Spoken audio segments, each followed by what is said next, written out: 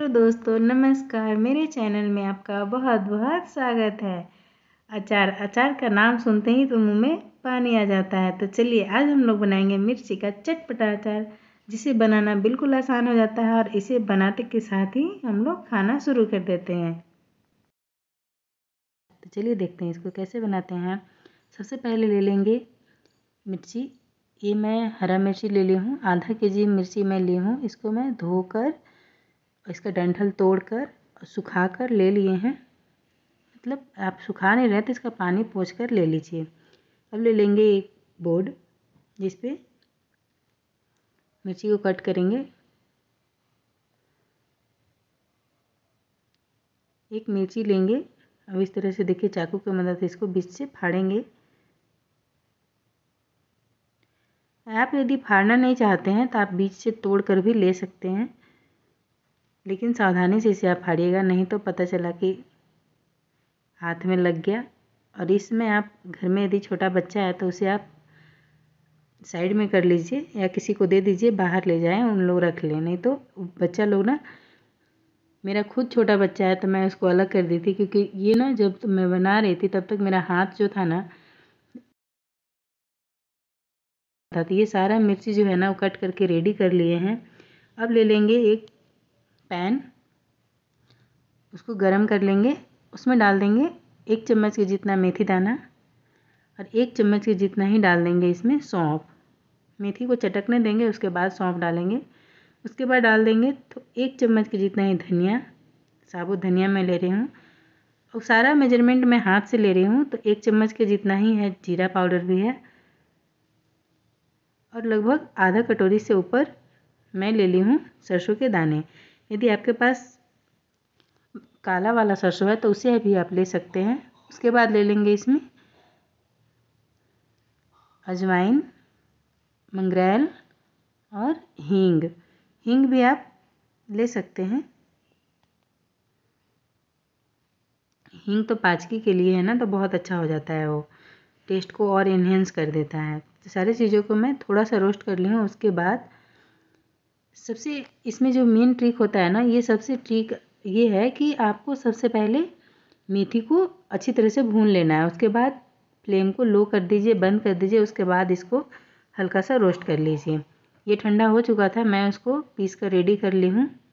दरदरा मुझे पीसना है मैं उसी कढ़ाई में मसाले को डाल ली हूँ। उसके बाद डाल लेंगे इसमें थोड़ा सा काश्मीरी लाल मिर्च, एक से डेढ़ चम्मच के जितना नहीं है तो कोई बात नहीं है, ये कलर के लिए डाला जाता है। दो चम्मच के जितने डाल लेंगे इसमें हल्दी पाउडर हल्दी पाउडर से मसाला जल्दी, जो अचार होता है ना, वो ख़राब नहीं होता है और टेस्ट भी बहुत अच्छा आता है। अब डाल लेंगे नमक टेस्ट के अकॉर्डिंग इसे थोड़ा सा मिक्स करेंगे, उसके बाद इसमें डाल लेंगे एक चम्मच के जितना आमचूर का पाउडर। यदि आपके पास आमचूर का पाउडर नहीं है तो आप इसमें नींबू का रस भी यूज़ कर सकते हैं। तीन या चार नींबू को कट करके आप उसका जूस निकाल कर डाल दीजिए। बहुत ही परफेक्ट हो जाएगा। बहुत अच्छा लगता है ये खाने में। ये देखिए, मैं दो नींबू ली हूँ। बता रही हूँ आपको कि आपके पास यदि नहीं है तो नींबू का रस भी डाल सकते हैं। अब मैं इसमें डाल दूँगी तेल। तेल मैं मेज़रमेंट से नहीं डाल रही हूँ। लगभग कितना? तीन से चार चम्मच के जितना मैं अभी तेल डाल रही हूँ। और थोड़ा सा तेल मैं और डालूँगी बाद में। अभी मिक्स कर रहे हैं मसाले को ना तो इसमें मैं तेल को थोड़ा सा डालकर मिक्स कर ले रही हूँ। इस तरह से यदि आप अचार बनाएँगे ना तो बहुत ही टेस्टी लगेगा खाने में। आप अचार में जब भी अचार बनाए ना तो अचार में सरसों का तेल ही आप डालें। इससे अचार ख़राब नहीं हो ये हमारा मसाला मिक्स हो गया है। अब मैं इसमें डालूँगी जो मिर्ची कट करके रखे हैं उसको। आप इसे हाथ से न मिलाएँ, नहीं तो पता चला कि हाथ पूरा और जलन देने लगेगा। हाथ में पूरा लग जाता है ना मिर्ची तो बहुत जलन देने लगता है। तो आप इसे चम्मच या बड़ा बर्तन, बड़ा कलछी ये सब चीज़ें ही मिक्स करें। बड़ा चम्मच से आसानी से मिक्स हो जाता है। और बड़ा बर्तन में आप इसे बनाइएगा। एक बार मैं जो डाले थे उसको मिक्स करी, उसके बाद इसको भी मैं डाल दे रही हूँ। और इसे अच्छी तरह से मिक्स कर लेंगे।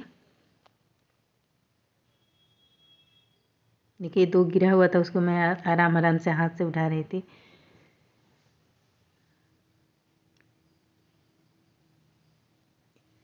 ये मिर्ची का अचार ना बहुत ही टेस्टी लगता है खाने में, खासकर ये बरसात के सीज़न में और ही टेस्टी लगता है। ये देखिए मिक्स हो चुका है। अब मैं इसमें थोड़ा सा और तेल डाल रही हूँ। उसके बाद इसे और मिक्स कर लेंगे अच्छी तरह से। क्योंकि तेल भी मिक्स हो जाए चारों तरफ़। बहुत ही कम तेल में ये अचार बनकर रेडी हो जाता है। आप तुरंत डालकर तुरंत भी खा सकते हैं। हम लोग तो बनाते हैं, बस दूसरे तीसरे दिन से, दूसरे दिन से ही हम लोग खाना शुरू कर देते हैं। और बहुत ही टेस्टी लगता है खाने में। ये देखिए, ये हमारा परफेक्ट अचार बनकर रेडी है। अब इसे ट्रांसफ़र कर लेंगे डब्बा में। आप इसे कांच के डब्बा में रखेंगे तो ज़्यादा दिन के लिए स्टोर करके रखना है तो इसे आप कांच के डब्बा में रखें। मैं इसे हॉर्लिक्स का डब्बा में रख रही हूँ। ये देखिए डब्बा को पहले से मैं धोकर सुखा कर ले ली हूँ।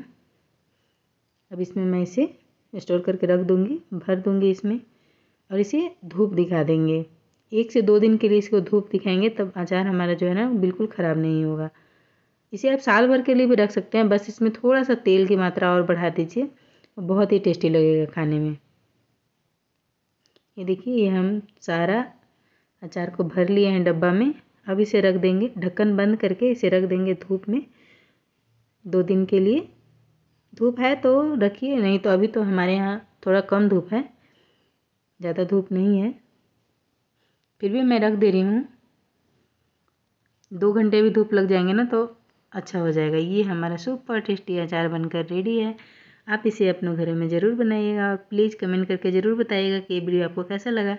यदि आप मेरे चैनल पर नए हैं तो प्लीज़ मेरे चैनल को लाइक शेयर सब्सक्राइब ज़रूर कीजिए। Bye bye take care